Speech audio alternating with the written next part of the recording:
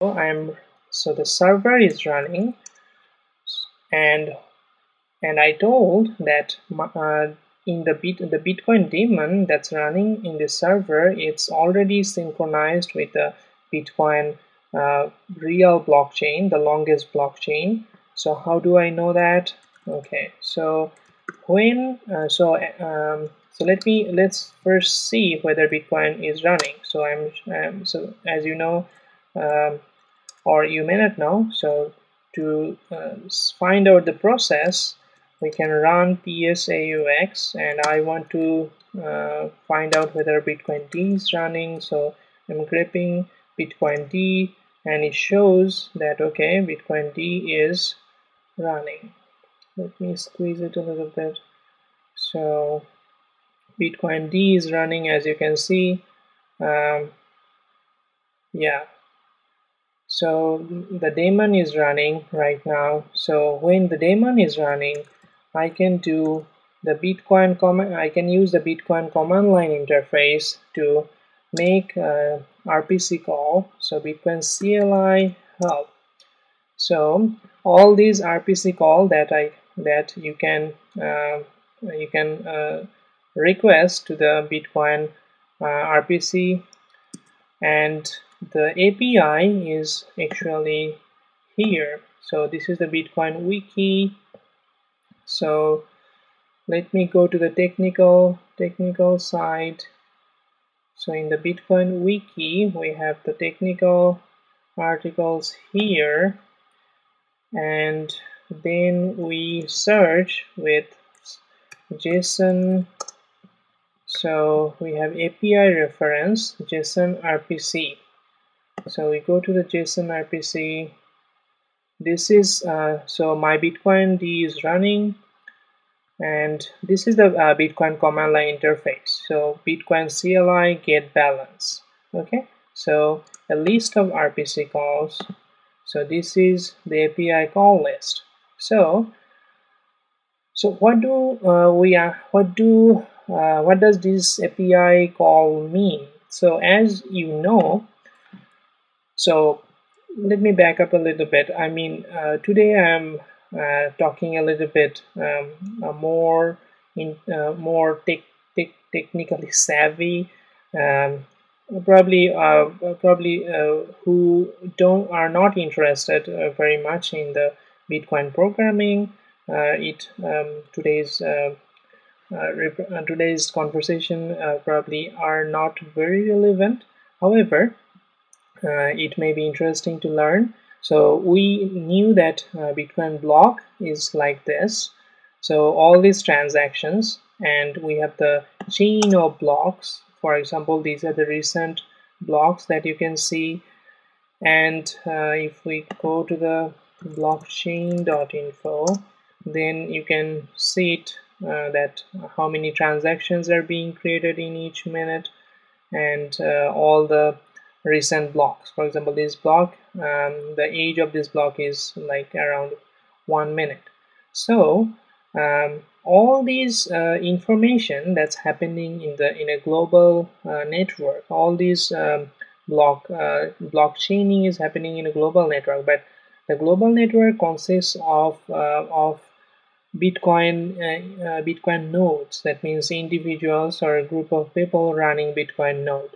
So Right now, my server is running as a Bitcoin full node. That means I am also participating to the Bitcoin network. That means I'm running a Bitcoin node. Therefore, as I have I have been saying over and over again that uh, my server has synchronized all the all the uh, all the uh, all the has synchronized with the with the longest blockchain and and downloaded all the block information. So what this uh, API, this JSON RPC call means is um, I will ask my Bitcoin client to give uh, the necessary give uh, the information that he has extracted from the uh, Bitcoin network. So uh, today we'll only restrict our our Bitcoin CLI commands in uh, the uh, commands um, only in the block side bitcoin block side. And uh, in future videos I will show you the other commands and how we can use it to get other information. So just uh, to have a quick review we have this full list of command. So this is these are the commands so and uh, these are the description of the command. If you want to be ahead of me uh, like uh, knowing all these commands so what you can do you can just uh, read this. And uh, so for example so this is uh, so we want to create first thing in Bitcoin where does this Bitcoin store? Okay I mean I mean for, for a regular person where does my Bitcoin go so as you can know we have Bitcoin address. So that means in the where so if, if I go back to blockchain.info if I go to this blog as you can see in this block this bitcoin address received this amount of bitcoin okay?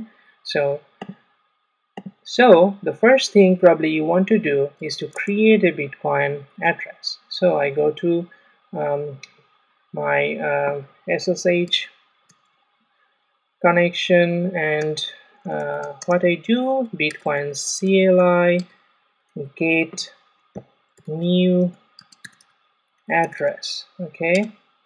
And okay.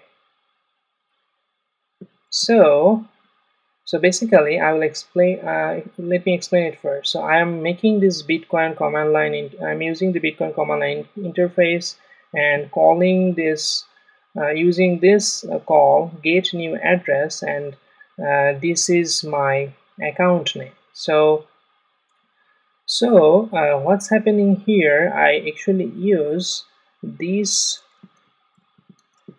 get new address. So I use this JSON RPC call.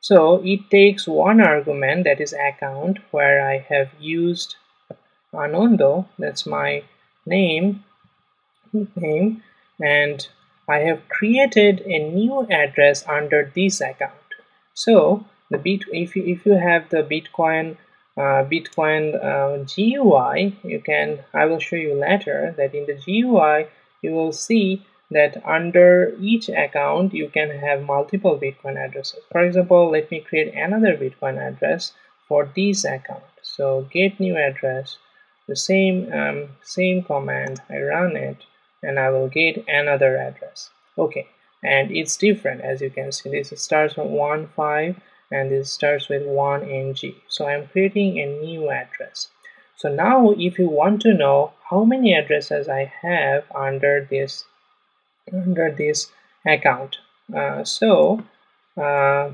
we have an uh, we have uh, a co command called get address by account okay so let's use this. So I do bitcoin CLI get address by account.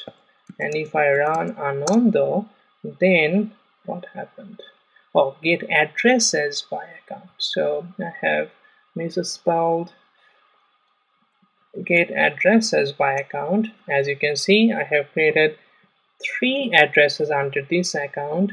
And um, you have seen that the last two five one n uh, is the recent two addresses that I have created. For example let's create another one uh, Bitcoin CLI get um, get new address uh, for example viewer okay so I will get a new address now if I want to see again Bitcoin CLI get addresses by account viewer so I got the address okay now, for example, you want to see how much Bitcoin this account holds. Right now, I don't have any Bitcoin in the server uh, in, in my wallet here.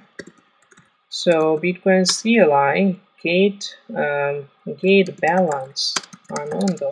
Okay, as you can see, if you uh, if I had so this balance is basically the cumulative balance of these three Bitcoin addresses. okay so if I had one Bitcoin here three Bitcoin here and one Bitcoin here then it would have given five okay and as you know one two how many zeros after decimal point? one two three four five six seven eight so that's why probably you have heard or you are hearing now that Bitcoin is divisible up to uh, up to eight decimal points that can be increased upon the agreement of the Bitcoin lead developers. However, uh, that's why some people argue that Bitcoin is infinite because um, I mean not in uh, not in the sense of uh, what infinite means, but uh, we have even though we have only 21 million Bitcoin, but uh, as it's divisible, um, you can have so many bitcoins, milli bitcoins, micro bitcoins. I mean, uh, enough. If, if Bitcoin's value has risen risen um, up to uh, up to a certain level or risen a lot, then uh, we can we, we could have uh, we can use micro Bitcoin, okay, and uh, we won't have the lack of Bitcoin. But the problem is definitely in in that kind of economy, some people will have um, huge amount of Bitcoin and the people, uh, the early adopters will have um, a lot of money, okay, compared to the new people. However, that's that's uh, how the investment works or the early adoption works. So, uh, get account address uh, is another one. For example, uh, what is get account address? Bitcoin CLI get account address. It should be the same Hmm. uh, get account address something is wrong okay bitcoin CLI get account address. I have written account. Somehow it's not working. I actually didn't use it a lot uh, use it a lot before. So however this is okay. So I get the bitcoin uh, get addresses by account now the viewer. Okay so there are other things. For example uh, well probably I should not show you. So how this entirely uh, the cryptographic um, signing process actually depend on private key. So what you can see here is actually Bitcoin public address right? So basically the public key is much longer than this. And I will I will have another segment on um, the public key, private key, and elliptic curve cryptography where I will describe how we uh, create these Bitcoin addresses. However, so the public key is much longer and against uh, each public key you have a private key okay? And uh, this is actually a hash of the public key. We, we need to have another segment on cryptographic hash. How do you create how do you create cryptographic hash from any string or any text. Uh, so uh, or what uh, the SHA-256 or SHA-512 was hash algorithm means. Okay. So this is uh, there's a public key and uh, for each public key there needs to be a private key. That means the private key is private. That means only you hold the you keep the private key. If you if you give up your wallet that means if somebody steals your wallet that means uh, he can he or she can have the access to your private key. That means if he ex if he can have access to your private key he can actually sign sign uh, sign a new transaction uh, using uh, your uh, Bitcoin address, okay, uh, or using your private key, and basically you will lose your Bitcoin address. That means you need to keep your wallet private. By keeping your wallet private or securing your wallet or encrypting your wallet means basically you want to hide your private key. So this private key is the most valuable thing that you don't want to lose, okay.